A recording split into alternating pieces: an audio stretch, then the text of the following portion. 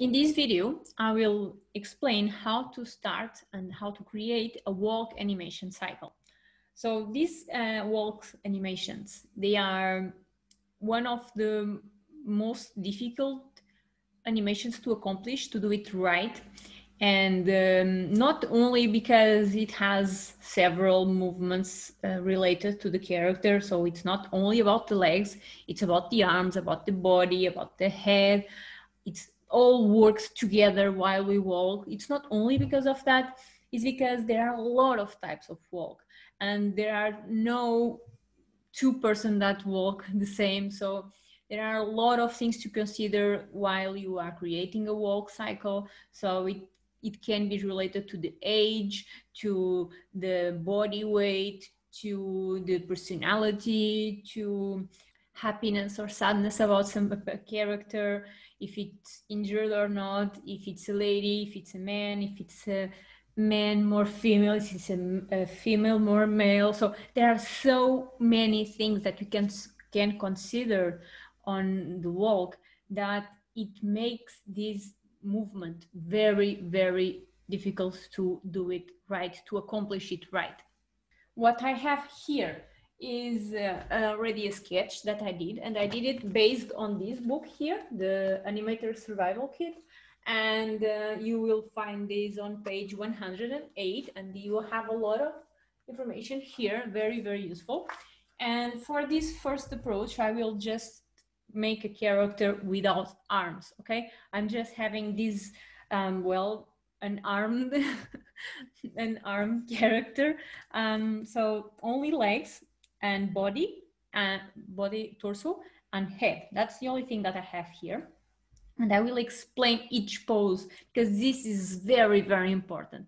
And the rules here they are very easy to understand. They are just complex when we start to creating other types of walk okay? So let's let's start. This pose that we have here ah and before continuing very important too is that to know how many frames we will have for our walk animation.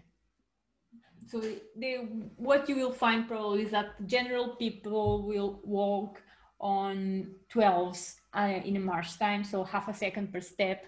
But well, if you, you can look for it and you can also do it like that, but it's very common to have walk animations with eight frames, okay? Because we have the key poses there and we can change all the way the character moves with these eight frames. So eight frames for our walk cycle, that's what we have here.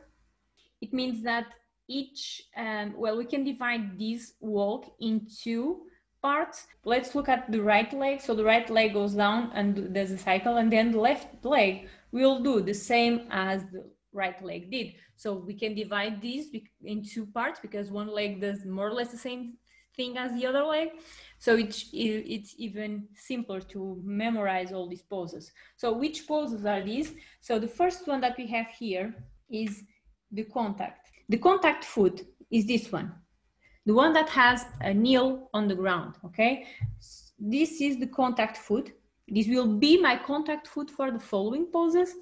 And this foot here is still on the ground, touching the ground, but only with the tip of the foot. So the weight of the body right now is divided in these two feet. Okay, this is important because the walk cycle is it has to do a lot of um, transferring the weight back and forward. Okay, so we need to go, we, we need to play with the weight and we need to communicate the where the weight is distributed. Okay, so in this case, the weight is divided by both feet.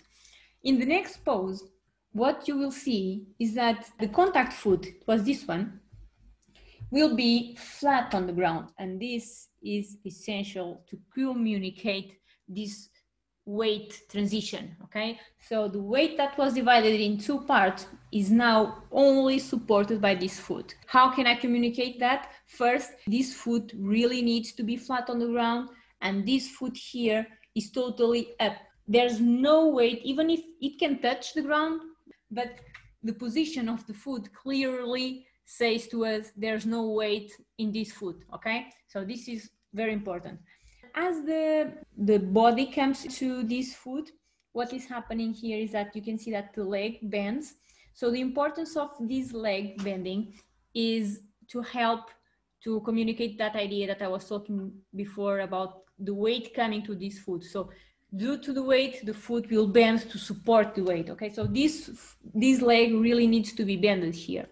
And since this leg really needs to be bended, this means that the body, and now notice the head, where the head is, well, it comes down, right? Because we bended the leg, so the, the body all come down. And this is not the contact position anymore. And this is the moment where our character is lower.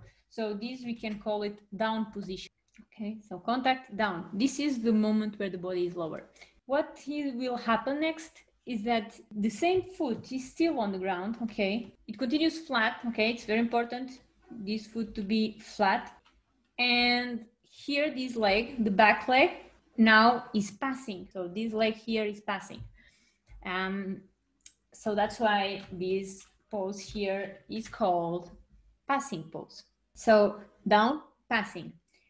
Here you can see that the head is coming up, but don't think about that right now. Just consider this. This leg is passing to the front and this leg, you can see here that it's straight, but this is not an important aspect of this pose. That's why I was talking with you here that this is important to be bent. Here it's not really important to be straight. It can be also bended. So this is not a key aspect of this pose. And the next pose, what we will see is, so this is the moment where where the body is higher, okay? So this is the highest point, okay? So the up pose is characterized by having the body higher as possible. The weight of the body is still on this leg here, as you can see, is still here, the weight, but is just about to be divided again. So as you can see, the body, it cannot stand in this pose for long. So it's just about making a transition, okay? So what will happen next is, again, having the weight divided in two feet, okay? Again, this is similar to this pose, but it's in the other leg. So just let me just, again, put this here, the transparency. So here is similar to that one, but the opposite. And the following poses are, again, the same thing as we saw before. So again, we have the same poses. So contact, right? But for the back leg, here is down, here is passing, and then is again up. So the head, it's here, the head, it's here, or almost. uh, again, the head it's here and the head it's here, okay? So these are the key poses that you have to consider to make a, a walk animation.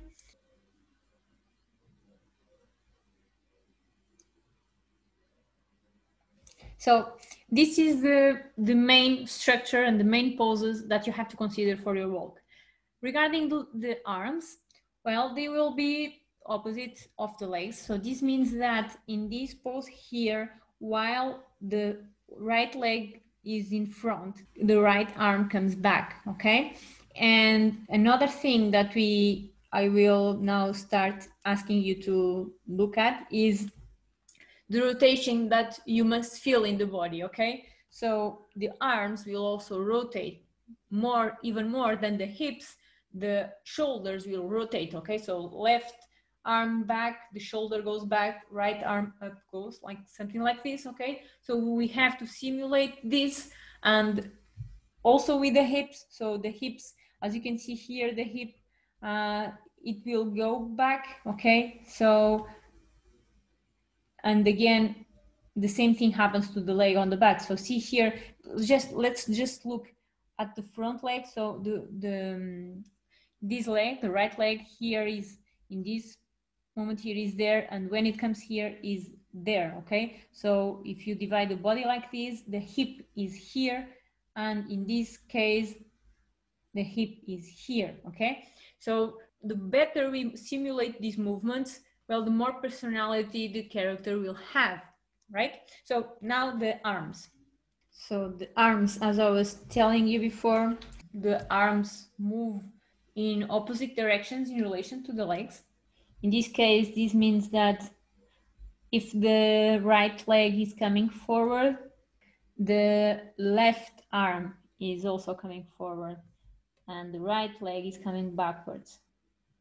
Um, if you think about the arms and legs as working in opposite direction, this means that uh, the moment where the legs are more uh, apart is the moment where the arms are more apart as here. You can see here that the arms here are wider. However i'm not putting the wider arms in this pose. I'm putting the wider arms in the following pose. This is related again to that delay that we talked about when we talked about the follow through and overlapping action. So uh, the arms will have a little bit of delay, okay? So this will seem much more natural. And the same thing with the hands, okay? It's like the body goes and then goes the arm and then goes the end. Uh, that's why I have here the moment where, okay, they are uh, apart. Oops, this is also.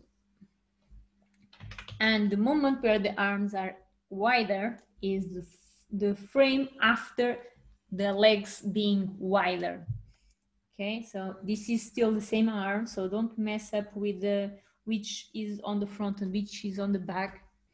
Here, the as you can see here, the passing, the arms are more or less aligned to the body, and then they swap. Okay, this is the back one, this is the front, and then here, so the front arm is coming forward Okay, and now we just need to repeat for the other.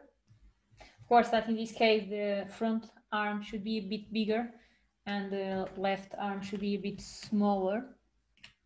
Okay, I'm just making a quick change.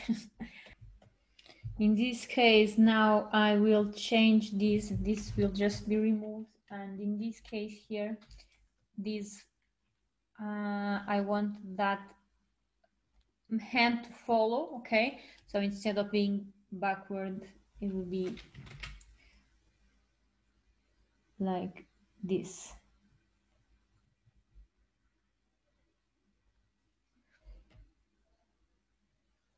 Okay.